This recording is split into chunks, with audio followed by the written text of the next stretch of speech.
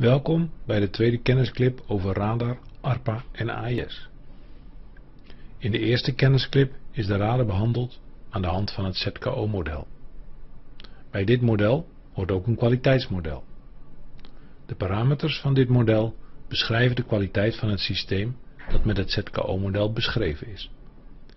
In deze kennisclip worden de verschillende kwaliteitsparameters van radar behandeld. De kwaliteit van radar wordt beschreven aan de hand van de parameters het onderscheidingsvermogen, het minimale en het maximale bereik en de ongewenste en valse echo's die kunnen optreden. Bij het radar ZKO-model is behandeld dat de zender pulsen uitzendt en dat in het horizontale vlak een hoofdbundel wordt uitgezonden met een bepaalde horizontale bundelhoek. Stel dat de radarstraling gereflecteerd wordt door een klein, goed reflecterend voorwerp, bijvoorbeeld een stalen baken. De gehele puls wordt door dit baken gereflecteerd en de gehele puls wordt door de ontvanger ontvangen. Op het radarscherm wordt het baken daardoor in de richting van het voorwerp vergroot weergegeven. Dit wordt de radiële vergroting genoemd. De radiële vergroting is gelijk aan de halve pulslengte. Zolang de hoofdbundel over het voorwerp strijkt, worden pulsen gereflecteerd. Dit zorgt voor een zogenaamde azimuthale vergroting van het voorwerp op het radarscherm. Deze vergroting is gelijk aan de hele horizontale bundelhoek. Tezamen met de radiële vergroting zorgt de azimuthale vergroting ervoor dat het voorwerp op het scherm als een rechthoek wordt weergegeven. Op het scherm lijkt het voorwerp dus veel groter dan dat het voorwerp in werkelijkheid is. Dit wordt de zogenaamde echo paint genoemd. Hoe verder weg het voorwerp zich van het eigen schip bevindt, hoe groter het voorwerp lijkt op het radarscherm. Verder geldt dat de grootte van de echo van een voorwerp op het scherm weinig zegt over de grootte van het voorwerp in werkelijkheid. Echo Paint heeft tot gevolg dat land op het radarscherm vervormd wordt afgebeeld. In deze figuur wordt met de gearceerde gebieden deze vervorming weergegeven. In sommige gevallen worden bijvoorbeeld baaien of smalle doorgangen niet op het radarscherm weergegeven. Hoe kleiner de horizontale bundelhoek en hoe kleiner de pulslengte, hoe kleiner de vervorming en hoe gedetailleerder de omgeving wordt weergegeven. Het onderscheidingsvermogen van een radar wordt gesplitst in een afstands- en een peilingsonderscheidingsvermogen. Dit onderscheidingsvermogen is gerelateerd aan de echo paint. Het afstandsonderscheidingsvermogen is het vermogen van de radar om twee objecten die zich in dezelfde richting bevinden afzonderlijk weer te geven op het radarscherm. Het peilingsonderscheidingsvermogen is het vermogen van de radar om twee objecten die zich op dezelfde afstand bevinden afzonderlijk weer te geven. Stel dat twee objecten zich op een onderlinge afstand van 100 meter bevinden. De pulslengte van de radar is gelijk aan 300 meter. In de bovenste animatie is te zien dat de gereflecteerde pulsen van de beide objecten elkaar overlappen. Dit betekent dat de ontvanger maar één object waarneemt. Stel nu dat de onderlinge afstand van de objecten 200 meter is. In de onderste animatie is te zien dat de twee echo's dan van elkaar gescheiden zijn. De ontvanger zal dan twee echo's waarnemen. Uit het bovenstaande mogen duidelijk zijn dat de grens ligt op 150 meter, oftewel op de halve pulslengte. Het afstandsonderscheidingsvermogen van een radar is daarom gelijk aan de halve pulslengte.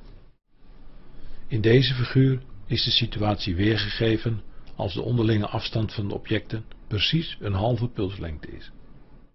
Om schepen afzonderlijk op het scherm weer te geven is een kleine pulslengte dus gunstig. Dit is vooral van belang op kleine bereik. Dit is een van de redenen waarom op een klein bereik een kleine pulslengte of pulsduur gebruikt wordt. Indien het peilingsverschil van de beide objecten minder is dan de horizontale bundelhoek, dan overlappen de echo's van de beide objecten ook. De ontvanger neemt weer maar één echo waar. Is het peilingsverschil groter dan de horizontale bundelhoek, dan worden de echo's van de beide schepen gedetecteerd. Het peilingsonderscheidingsvermogen is dan ook gelijk aan de horizontale bundelhoek. Voor een goed peilingsonderscheidingsvermogen is een kleine horizontale bundelhoek dus gunstig.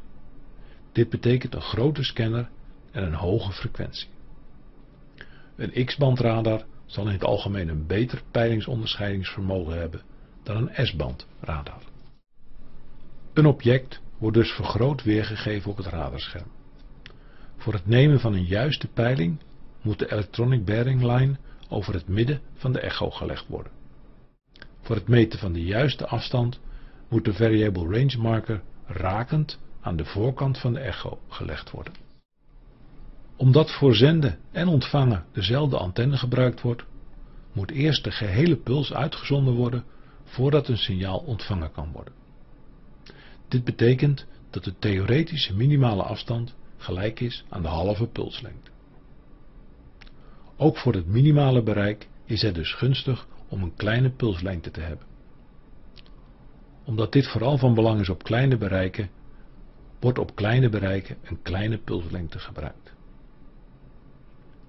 De minimale afstand kan ook bepaald worden door de grootte van de verticale bundelhoek of door de afscherming van objecten door bijvoorbeeld delen van de opbouw. Om de minimale afstand in de richting van het voorschip te verkleinen, wordt om deze reden bij sommige schepen een aparte scanner op het voorschip geplaatst. Het maximale bereik van een radar is afhankelijk van een groot aantal factoren. Wat betreft de zender is de maximale afstand onder andere afhankelijk van de uitzendfrequentie, de pulslengte en het piekvermogen. Wat betreft de antenne is de maximale afstand onder andere afhankelijk van de grootte en de hoogte van de antenne. Hoe groter de antenne, hoe kleiner de bundelhoek en hoe beter de energie gebundeld wordt. De gevoeligheid van de ontvanger bepaalt onder andere of een echo nog onderscheiden kan worden van de altijd aanwezige ruis. De opbouw van de onderste lagen van de atmosfeer bepaalt of er bijvoorbeeld superrefractie, subrefractie of ducting optreedt. De aanwezigheid van neerslag kan leiden tot een toename van de absorptie van de uitgezonden energie. De vorm van het object, de hoogte van het object, de richting van waaruit het object aangestraald wordt en het materiaal van het object bepalen onder andere de grootte van de radar cross-section van het object en dus de mate waarin het signaal gereflecteerd wordt. Hoe groter de radar cross-section, hoe groter het bereik waarop het object gedetecteerd wordt. Ongewenste echo's of clutter zijn echo's van objecten die de detectie van gewenste echo's kunnen bemoeilijken of zelfs onmogelijk kunnen maken. Ongewenste echo's zijn reflecties van zeegolven en neerslag. Valse echo's zijn echo's die op het radarscherm verschijnen, maar op die plaats is geen object aanwezig. Zeegolven geven ongewenste echo's die zeesluier of seaclutter genoemd worden. Zeesluier vindt zich op het radarscherm vooral rondom de positie van het eigen schip. De echo van een schip die zich in het gebied van de zeesluier bevindt is moeilijk of zelfs niet te detecteren voor de operator.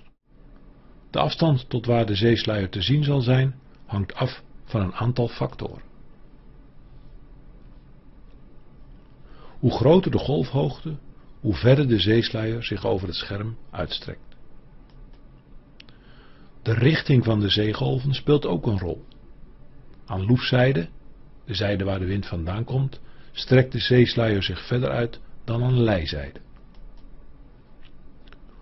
Hoe hoger de scanner zich boven het water bevindt, hoe groter het gebied van de zeesluier.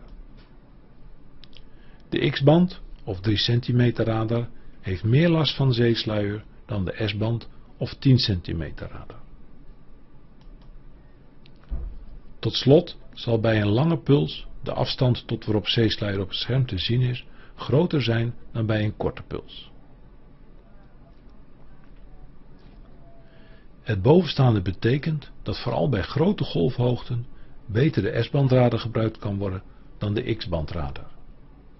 De tweede conclusie is dat in deze omstandigheden beter geen langere puls geselecteerd kan worden. De echo van een schip dat zich in een neerslaggebied bevindt kan ook moeilijk of zelfs niet te detecteren zijn. De sterkte van de echo van neerslag is afhankelijk van een aantal eigenschappen van de neerslag, zoals de soort neerslag, de intensiteit van de neerslag en de grootte van de neerslagelementen. Verder is ook de afstand tot het neerslaggebied een factor die van belang is. De X-bandradar geeft een sterkere echo dan een S-bandradar. In vliegtuigen is zelfs een X-bandradar aangebracht om buien te detecteren. Verder speelt ook de pulslengte weer een rol. Hoe langer de puls, hoe sterker de echo van de bui.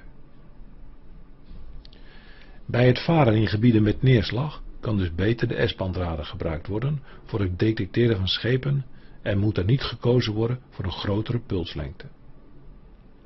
Voor het verminderen van de regensluier geldt dus hetzelfde als voor het verminderen van de zeesluier. De indirecte echo is een valse echo. Stel dat zich aan stuurboordzijde een schip bevindt.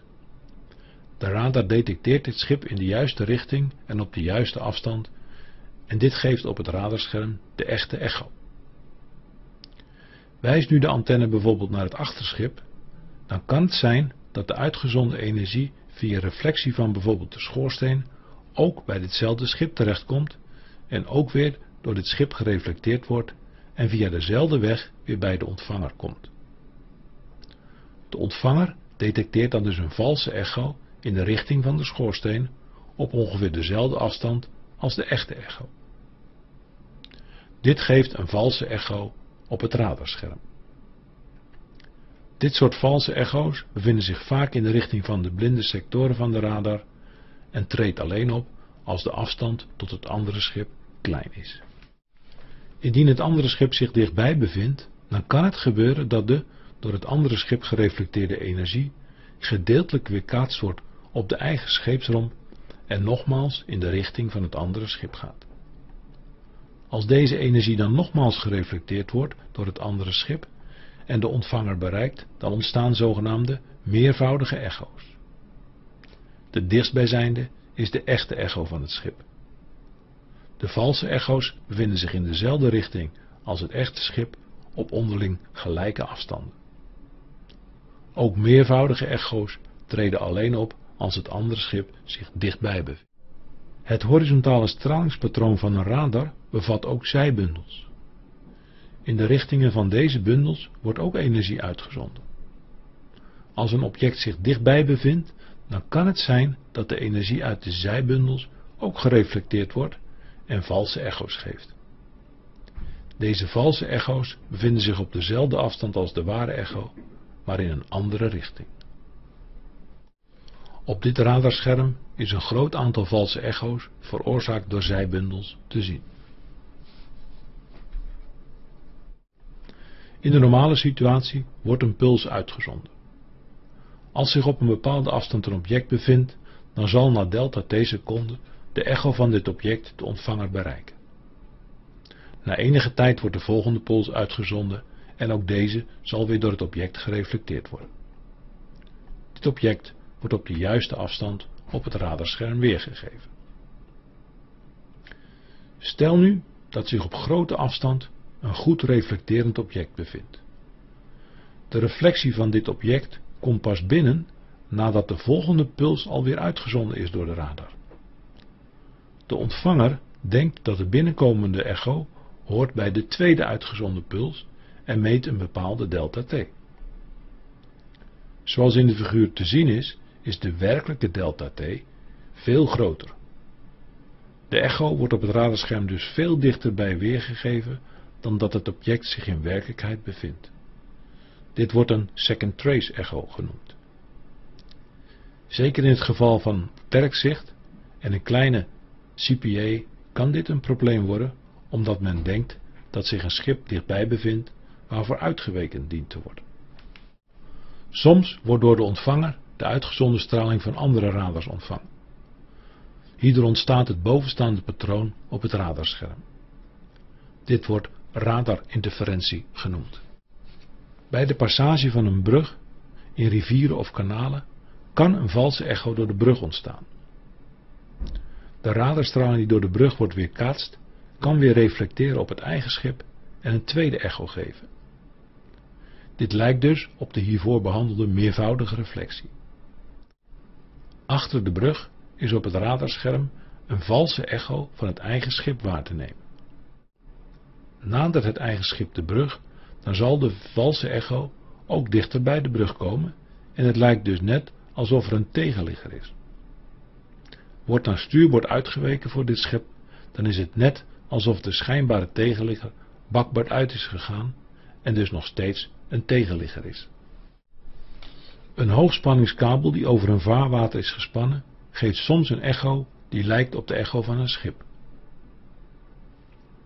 Op de bovenstaande foto van een radarbeeld is deze echo te zien. Ook is op dit radarbeeld de valse echo van het eigen schip te zien die ontstaat door reflectie van de brug die zich achter het schip. En hierbij eindigt de kennisclip over de kwaliteitsparameters van radar, oftewel over het ZKO kwaliteitsmodel. Er is aandacht besteed aan het onderscheidingsvermogen van een radar, het minimale en het maximale bereik en aan de verschillende ongewenste en valse echo's die op kunnen treden.